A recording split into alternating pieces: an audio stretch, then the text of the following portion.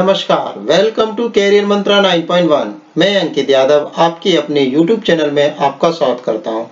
आज की क्लास में हम यूपी टेट का सॉल्व पेपर 2013 डिस्कस करेंगे। ये पेपर आपका 27 जून 2013 को हुआ था। आज की क्लास में हम ईवीएस का पार्ट डिस्कस करेंगे। आपने अभी तक चैनल को सब्सक्राइब नहीं किया हो तो कर लीजिए, क्यों? और बेल का आइकन पर ऑल का क्लिक कर लीजिए। जिससे क्या होगा कि सभी नोटिफिकेशन आपके पास सबसे पहले पहुँचेंगे।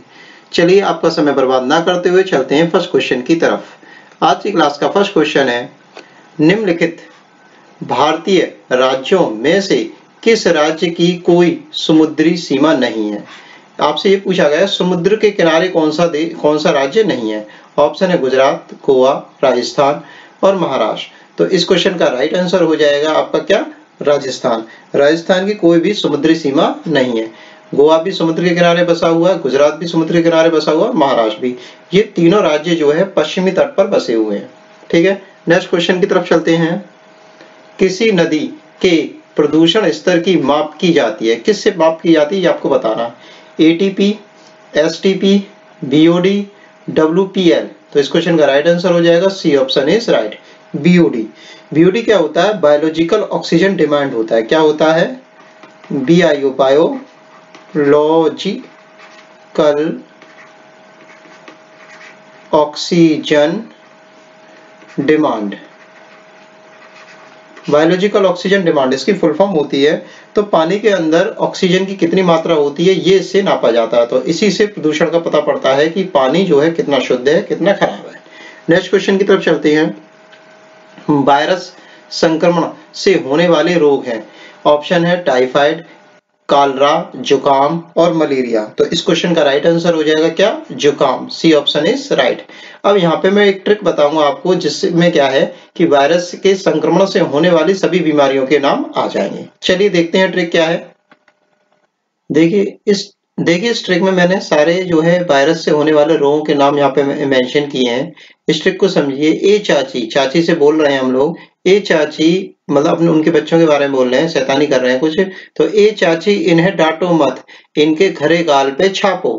ए चाची इन्हें डांटो मत, इनके खरे गाल पे छापो। अब सुनिए ट्रिक जो बहुत इजी है, ए से तो हो गया एड्स, चाची से हो गया चेचक, इन्हें से हो गया इन्फ्लुएंजा डा से, आगे वाले डा से हो गया आपका डेंगू, ठीक है, टो से हो गया आपका ट्रैकोमा, मत से हो गया आपका मेनिनजाइटिस इनके जो है साइलेंट वर्ड है, ठीक है, फिर उसके बाद है खा, खरे, खा से है खसरा, रा से है रेबीज गाल से है गलसुआ, पै से है पीलिया, और पा, जो छापो का पा है लास्ट वाला वर्ड उससे है पोलियो, पीलिया और पोलियो। तो कौन कौन से रोग हुए? एड्स, चेचक इन्फ्लुएंजा डेंगू ट्रैकोमा मेनिनजाइटिस खसरा रेबीज गलसुआ, पीलिया और पोलियो, ये रोग इनसे होते हैं। अब देखो, जुकाम क्या होता है? जुकाम भी क्या है? इन्फेक्शन होता है, ठीक है? तो जुकाम भी किससे होता है? वायरस से होता है। किससे होता है? वायरस से ही होने वाला एक रोग है, ठीक है? जुकाम जो है अक्सर करके एक सप्ताह के लिए होता है। अगर हम इन केस अगर दवाई भी ना लें तो एक सप्ताह के अंदर जुकाम हमारा आसानी से ठीक हो सकता है, आसानी से, ठीक है? नेक्स्ट क्वेश्चन की तरफ़ चलते हैं।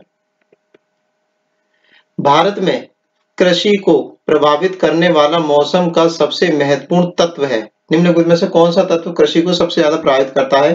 तापमान, आर्द्रता, पवन, वृष्टि।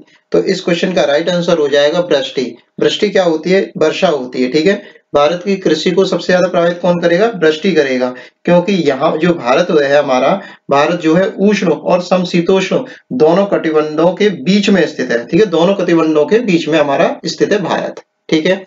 नेक्स्ट क्वेश्चन देखते हैं हम लोग। फिफ्थ क्वेश्चन में है, वायुमंडल की सबसे ठंडी परत कौन सी है? ऑप्शन है तापमंडल, मध्यमंडल, क्षोभमंडल क्षोभ मंडल आयन मंडल तो इस क्वेश्चन का राइट आंसर हो जाएगा मध्यमंडल। बी ऑप्शन इज़ राइट मध्यमंडल। अब मध्यमंडल जो है सबसे ठंडी परत क्यों है? जैसे ही हम एटमॉस्फेयर के मध्यमंडल में प्रवेश करते हैं तो हर मतलब हर हाइट के अकॉर्डिंग क्या है, इसका टेम्परेचर गिरता चला जाता है मतलब क्या ठंडा होता चला जाता है मौसम, ठीक है? तो जैसे जैसे हम इसमें ऊपर बढ़ते जाते हैं तो टेम्परेचर क्या होता है डाउन होता चला जाता है। इसमें जो टेम्परेचर रहता है माइनस एट्टी डिग्री सेंटीग्रेड तक डाउन हो जाता है, ठीक है? मध्यमंडल में तो इसलिए वायुमंडल की सबसे ठंडी परत बोली जाती है मध्यमंडल नेक्स्ट क्वेश्चन की तरफ़ चलते हैं हमारा। निम्नलिखित में से कौन सी एक ग्रीन हाउस गैस है? ठीक है गैस के बारे में पूछा ग्रीन हाउस गैस कौन सी है? ये ग्रीन हाउस गैस वाला बहुत इंपॉर्टेंट टॉपिक है क्वेश्चन है और इंपॉर्टेंट टॉपिक भी है आपके पेपर के लिहाज से। और ग्रीन हाउस के हर सेट में एक एक क्वेश्चन पड़ा हुआ है, ठीक है? तो हर सेट को आप देख लीजिए, मैंने वीडियो में सारे डाल रखे हैं। सल्फ़र डाइऑक्साइड पहला ऑप्शन है सल्फ़र डाइऑक्साइड सेकंड ऑप्शन है ऑक्सीजन थर्ड ऑप्शन है आर्गन फोर्थ ऑप्शन है मैथिन तो ग्रीन हाउस गैस इनमें से कौन सी आपको ये बताना है? तो ग्रीन हाउस गैस आपकी कौन सी है? मैथिन गैस है। इसमें ग्रीन हाउस गैस है। आपकी चार ग्रीन हाउस गैस हैं। एक तो है आपकी कौन सी? मैथिन है। आपकी है कार्बन डाइऑक्साइड CO2 है। फिर आपकी है नाइट्रस ऑक्साइड N2O है। और लास्ट है आपकी CFC क्लोरोफ्लोरो कार्बन ठीक है तो इस तरह से आपकी चार ग्रीन हाउस गैसेस हैं। नेक्स्ट क्वेश्चन की तरफ़ चलते हैं। भारत में प्रोजेक्ट टाइगर की शुरुआत हुई थी। प्रोजेक्ट टाइगर की शुरुआत कब हुई थी, ये आपको बताना है। पहला ऑप्शन है 1973 में 1982 में, उन्नीस सौ बानवे में या उन्नीस सौ छियानवे में। तो ए ऑप्शन इज़ राइट। 1973 में टाइगर प्रोजेक्ट की स्थापना शुरुआत हुई थी। ये कब हुई थी? ये एक अप्रैल एक अप्रैल उन्नीस तिहत्तर को हुई थी। 1973 में हुई थी। ये जो शुरुआत हुई थी, ये जिम कार्बेट नेशनल पार्क जो कि उत्तराखंड में है, वहाँ से शुरुआत इसकी की गई थी। नेक्स्ट क्वेश्चन की तरफ़ चलते हैं हम लोग। पृथ्वी तल पर उस काल्पनिक रेखा को क्या कहते हैं? कौन सी काल्पनिक रेखा? जो 180 डिग्री मेरिडियन यामोत्तर पर खींची गई है। ठीक है? तो ऐसा है कि हमारी पृथ्वी पर कोई रेखा तो खींची हुई नहीं है, हमने खुद भी नहीं खींची है, पर इसकी स्टडी करने के लिए हमने क्या किया है, पृथ्वी का एक छोटा मॉडल लिया है ग्लोब और ग्लोब के ऊपर हमने कई सारी रेखाएँ खींच ली है, जैसे इस तरह से रेखाएँ खींची है। आपने अगर ग्लोब देखा हो तो इस तरह से रेखाएँ खींची है। ठीक है ना? ठीक है। और जो हमारा क्या नाम है, नक्शा भी है तो उसमें भी हमने रेखाएँ खींची जैसे कि इस ग्लोब के नक्शे को हम क्या है, इस तरह से दिखाते हैं। पेपर पर ए फोर शीट पे या मतलब कि चौकोर पेपर पर दिखाते हैं। तो इसमें क्या है? इस पूरे नक्शे में क्या है? रेखाएँ खींची हुई हैं। तो 180 डिग्री पर जो रेखा खींची गई है, उस रेखा को क्या कहते हैं? वो हमसे पूछा गया ऑप्शन है अंतरराष्ट्रीय तिथि रेखा, कर्क रेखा, विषुवत रेखा, प्रधान यामोत्तर रेखा।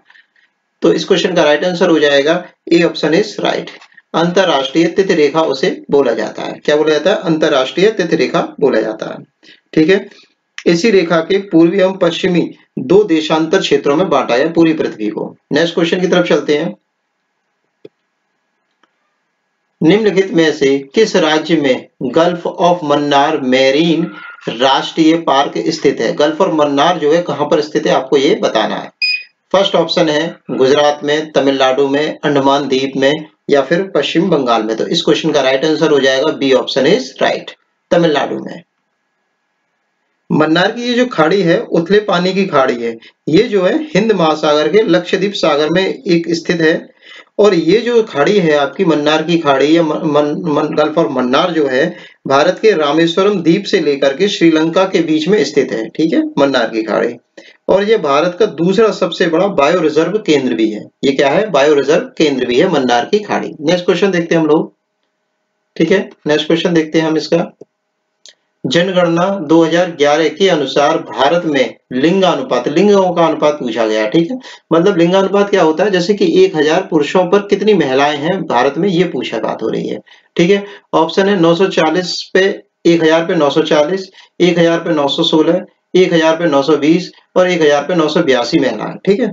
तो अब इस क्वेश्चन का राइट आंसर जो होगा, वो राइट आंसर बिल्कुल सटीक आंसर तो कोई भी नहीं दिया गया है। क्यों नहीं दिया गया? क्योंकि जो हमारा लिंगानुपात है, वो है 943 कितना लिंगानुपात है? 943 कितने पे? 1000 पे।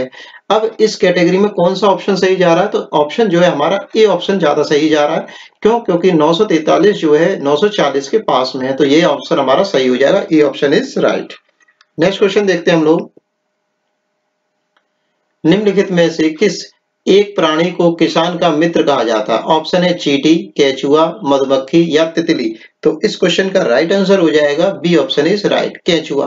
कैचुआ जो है, प्राणियों का मतलब केचुआ एक ऐसा प्राणी है जो कि किसानों का मित्र कहा जाता है। क्यों कहा जाता है? क्योंकि कैचुआ क्या है कि ज़मीन के अंदर जाकर के उपजाऊ मिट्टी को ज़मीन के ऊपर ले आता है, ठीक है? जो ज़मीन नीचे उपजाऊ होती है, उसको खोद खोद करके ऊपर ले आता है तो इससे क्या खेती अच्छी होती है। नेक्स्ट क्वेश्चन की तरफ़ चलते हैं। नेक्स्ट क्वेश्चन है ट्वेल्व क्वेश्चन है, पर्यावरण को बचाने के लिए चिपको आंदोलन से कौन सा राज्य जुड़ा हुआ है? चिपको आंदोलन जो है, किस राज्य में हुआ ये आपको बताना है। ऑप्शन है, उत्तर प्रदेश, झारखंड, उत्तराखंड, छत्तीसगढ़।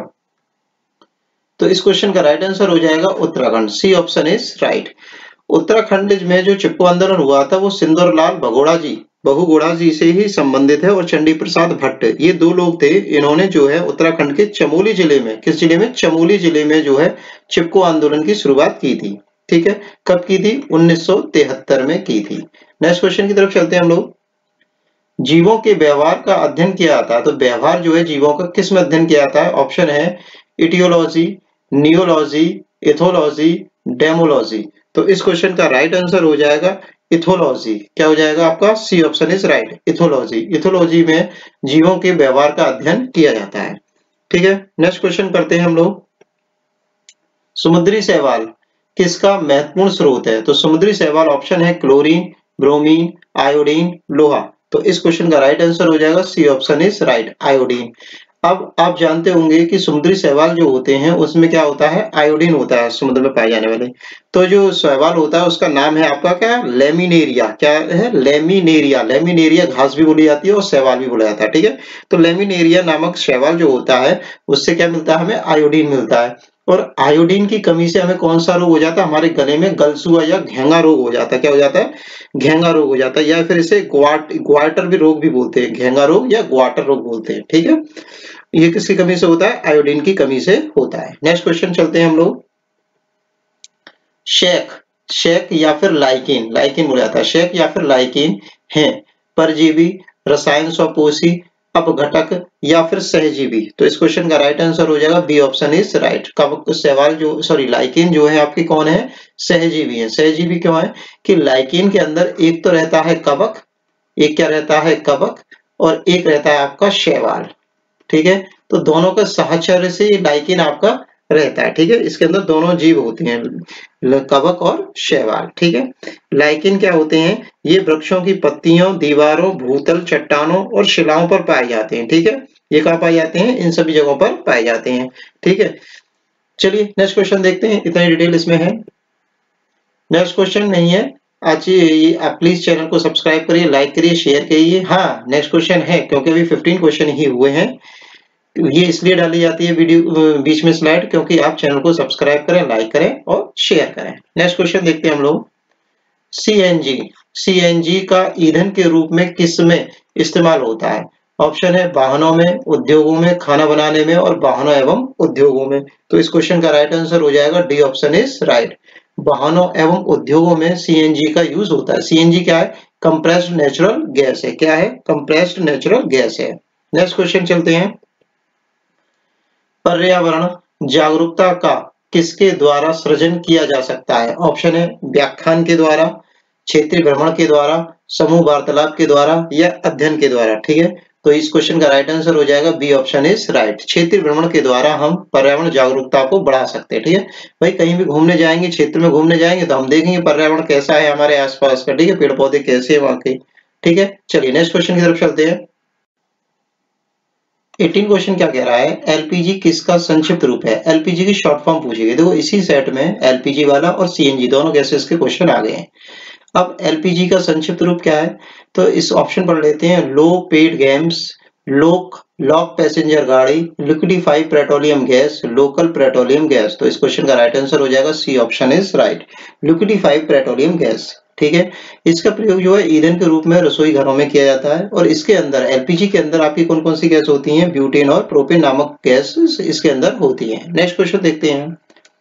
पृथ्वी पर पहुँचने से पहले ओजोन परत किन किरणों का अवशोषण करती है? ओजोन परत जो है किन को अवशोषण करती है, ये आपको बताना है। ऑप्शन है गामा किरणों का, एक्सरे किरणों का, परावैग्निक किरणों का या बीटा किरणों का। तो इस क्वेश्चन का राइट आंसर हो जाएगा, सी ऑप्शन इज़ राइट।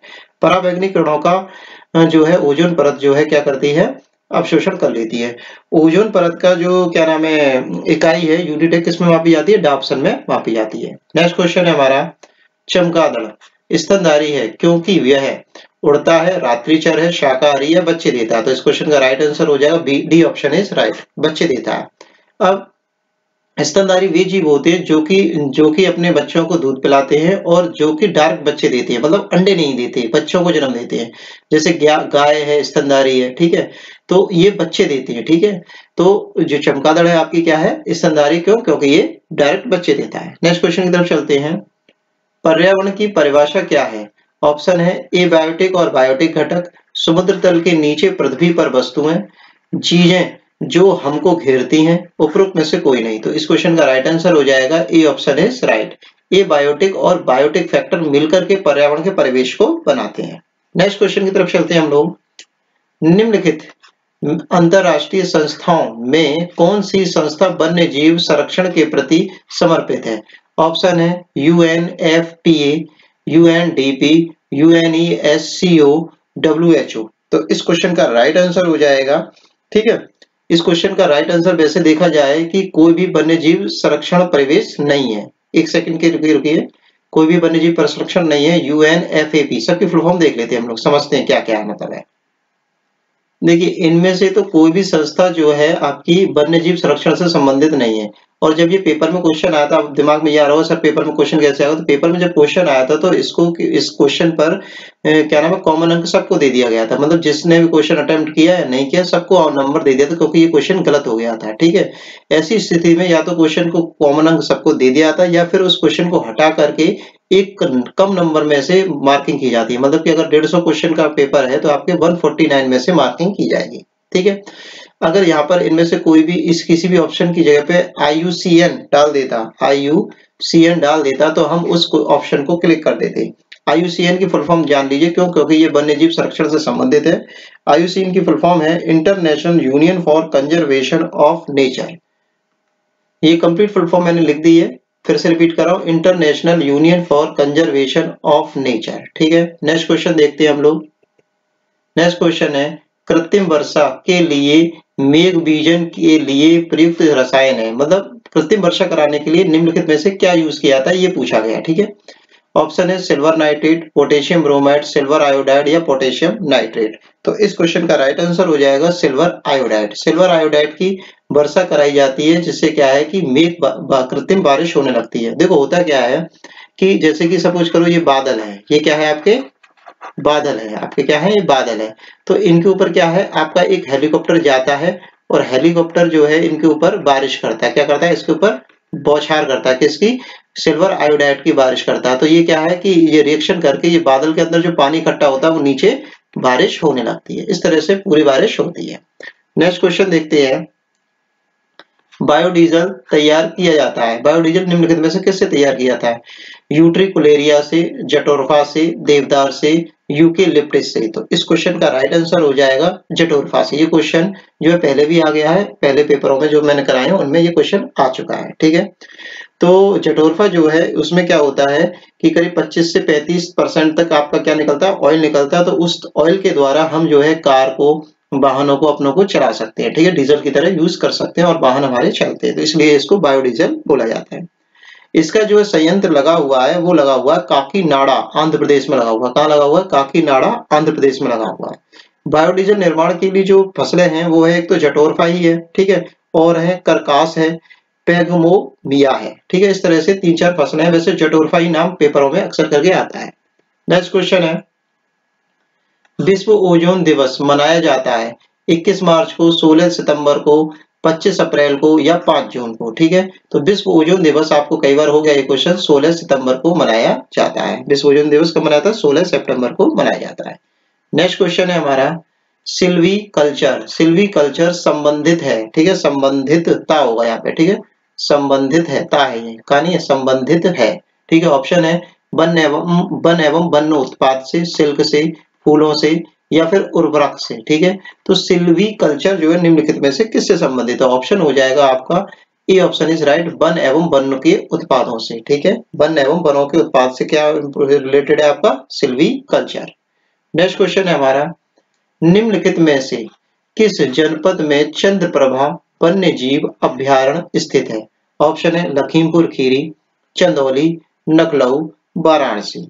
तो इस क्वेश्चन का राइट आंसर हो जाएगा चंदौली। क्या हो जाएगा इसका राइट आंसर चंदौली। चंदौली जो में जो है हमारा कौन सा है? चंद्रप्रभा वन्य जीव अभ्यारण्य स्थित है। ठीक है? ये अभ्यारण जो बना था, उन्नीस सौ सत्तावन में बना था। कब बना था? उन्नीस सौ सत्तावन में बना था और चंदौली ज़िले में आपका ये स्थित है। ठीक है? उत्तर प्रदेश में है। ठीक है? नेक्स्ट क्वेश्चन है हमारा। निम्नलिखित में से कौन द्वितीय श्रेणी का उपभोक्ता है? सेकंड नंबर पर कौन आता है? सेकंड नंबर पर द्वितीय श्रेणी का उपभोक्ता। ठीक है? ऑप्शन है हाथी, सांप, शेर, बकरी। तो इस क्वेश्चन का राइट आंसर हो जाएगा आपका क्या? सांप। ठीक है? बी ऑप्शन इज़ राइट ठीक है? देखिए, हाथी और बकरी। हाथी और बकरी। ये वाला फ़र्स्ट नंबर वाला और ये लास्ट वाला। हाथी और बकरी प्रथम श्रेणी के उपभोक्ता है। सांप आपका द्वितीय श्रेणी का उपभोक्ता है और शेर आपका तृतीय श्रेणी का उपभोक्ता है। ठीक है? नेक्स्ट क्वेश्चन की तरफ़ चलते हैं हम लोग। झूम खेती कौन सी खेती? झूम खेती होती है केरल में बिहार में मेघालय में या फिर तमिलनाडु में। तो इस क्वेश्चन का राइट आंसर हो जाएगा C option is right Meghalaya राज्य में झूम खेती होती है। पहाड़ी इलाकों में क्या होता है कि अक्सर करके झूम खेती ही की जाती है। देखो झूम खेती में क्या है? मतलब इस तरह समझो झूम झूम कर घूम घूम कर, कर खेती होनी है ठीक है? अब जैसे कि ये हमारा खेत है, कोई भी हमारा एक खेत है तो उसमें खेती हुई, ठीक है? खेती हुई, खेती होने के बाद, एक टाइम के बाद वहाँ की जो उपजाऊ है या उर्वरकता है वो कम होती चली जाएगी तो उस, फिर उस खेत को छोड़ करके दूसरा बगल में खेत या फिर किसी और पहाड़ी पर जाकर के यहाँ पर खेत होगा तो वहाँ पर की खेती की जाएगी।